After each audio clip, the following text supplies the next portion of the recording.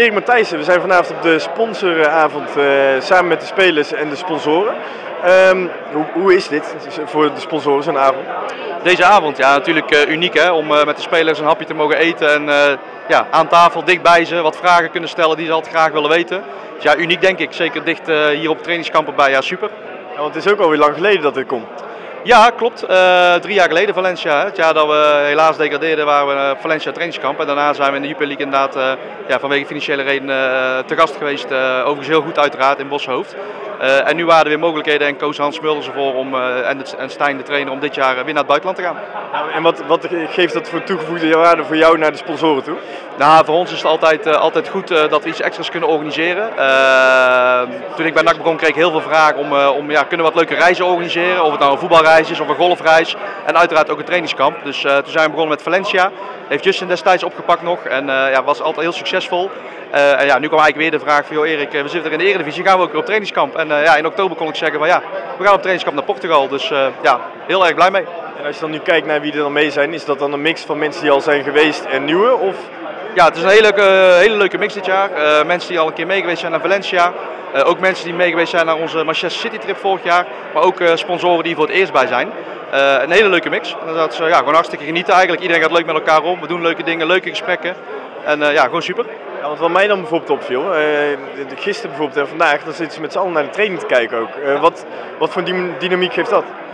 Ja, een, een, hele leuke dynamiek. Uh, kijk, voor ons en voor mij is het misschien uh, normaal. Uh, voor jullie als supporters ook vaker bij een training geweest. Maar sponsoren doen dat eigenlijk niet. Die komen eigenlijk nooit ook in Zundert kijken. Ja, nu staan ze eigenlijk hier heel dik bij op. Ze zitten langs de rand van het veld. Ze zien wat er gebeurt. ze zien dat er hard gewerkt wordt. Ze zien een hele positieve sfeer hè, op het trainingsveld. ja, en na afloop kunnen ze ook weer even de spelers kort een handje geven en, en even een kort praatje maken. Ja, dat is gewoon heel erg leuk om te zien en een hele goede dynamiek daarmee. Ik heb hier uh, Rudy Biers en Gianluca Nijholt. Uh, beide verbonden aan de club, één als sponsor en één als speler. Uh, maar wel de eerste keer dat er zoiets is. Hoe is dat voor jou? Ja, ik moet zeggen, het is erg gezellig. Uh, leuke verhalen, goede verhalen, lekker eten en ja, ik denk tot nu toe een topavond, denk ik. Ja. En als sponsor, om gewoon echt op trainingskamp mee te zijn met NAC? Ja, ontzettend leuk om een keer mee te mogen maken. Je, je, ik heb wel eens foto's van gezien, filmpjes van gezien, maar als je er dan bij bent zie je pas hoe intensief het is. En stiekem ook wel leuk het is om even naar het buitenland te gaan. Geeft dit nou ook voor als sponsor zijn wat meer binding met zijn elftal? Naast dat je sponsort nou nog iets meer? Ja, je leert uh, op een andere manier de spelers wel beter kennen. Vooral op een avond als vanavond, dat je ze kunt spreken. Staf, spelers. Daar misschien nog een klein biertje doen. Dus ja, je leert elkaar wel beter kennen. Ja. ja want als je kijkt, jij hebt natuurlijk de afgelopen jaren de trainingskamp in Boshoofd meegemaakt. Ja, dat is denk ik heel anders dan dit. Ja, heel anders. Uh, moet ik zeggen, was uh, ook erg goed geregeld en uh, was ook leuk. Alleen ja, dit is toch wel met de sponsoren samen en buitenland lekker weer, goed veld. ja, dat is toch wel, ja, wel wat anders. Ook mooi, maar ja, ook leuk. Riesle Sprangers, dit is jouw eerste sponsoravond in het buitenland, denk ik. Ja, dat klopt. Ja. Wat vind je er tot nu toe van? Ik, ehm, ik vind het heel gezellig. Ik heb ehm, zeker wat sponsoren leren kennen. Um,